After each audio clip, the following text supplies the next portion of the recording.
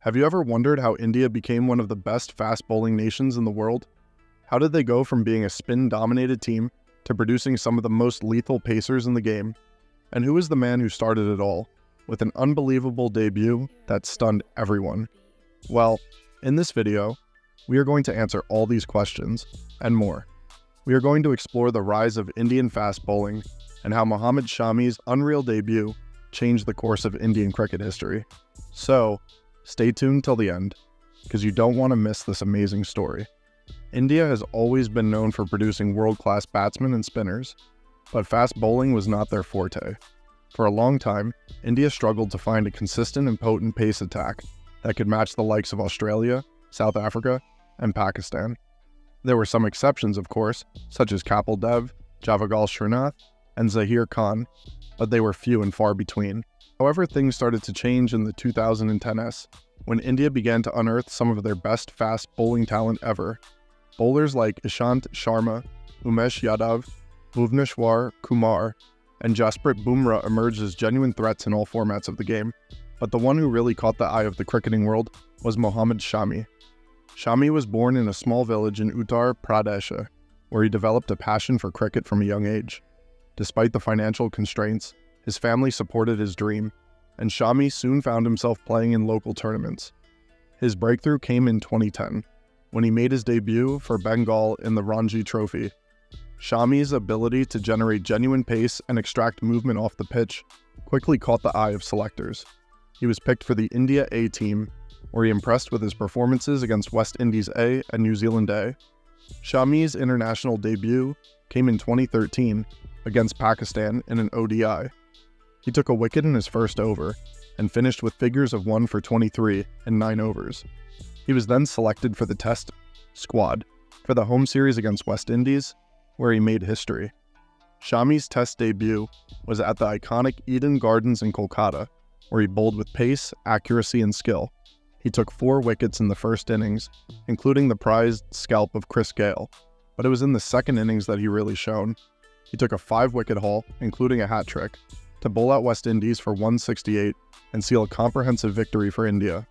Shami became only the second Indian bowler, after Harbhajan Singh, to take a hat trick on Test debut. He also became the first Indian fast bowler to take a five wicket haul on Test debut at home.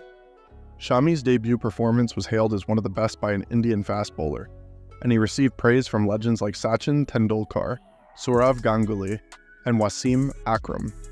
Shami had announced himself on the big stage, and he was ready to take on the world. Shami's career, however, was not without challenges. He had to deal with injuries, loss of form, and personal issues that threatened to derail his progress. He missed the 2016 World T20 due to a knee injury and was dropped from the test team after a poor tour of Australia in 2014 15. He also faced allegations of domestic violence and adultery from his estranged wife, which he denied and fought in court. But Shami never gave up, and he worked hard to overcome his difficulties. He made a strong comeback in the 2015 World Cup, where he took 17 wickets in 7 matches and was India's leading wicket taker in the tournament. He also improved his fitness, bowling action, and skills, and became a more versatile and lethal bowler. He developed the ability to bowl fast and swing the ball both ways, as well as reverse swing the old ball. He also mastered the art of bowling with the pink ball, and became the first Indian bowler to take a hat trick in a day night test against Afghanistan in 2019. Shami has been a key member of India's fast bowling attack in recent years and has played a vital role in India's success across formats. He has been especially effective in ODIs, where he has the best strike rate among Indian bowlers and the fifth best in the world.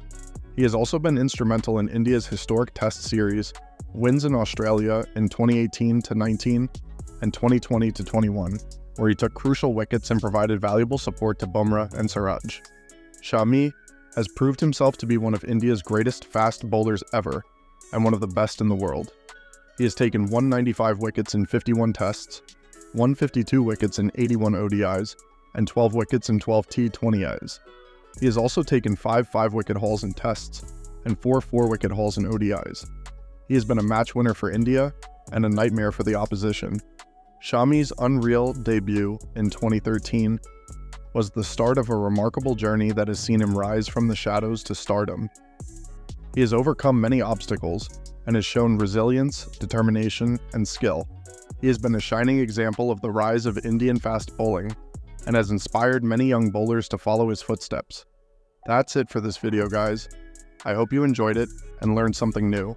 If you did, please like, share, and subscribe to my channel, and hit the bell icon to get notified of our latest videos.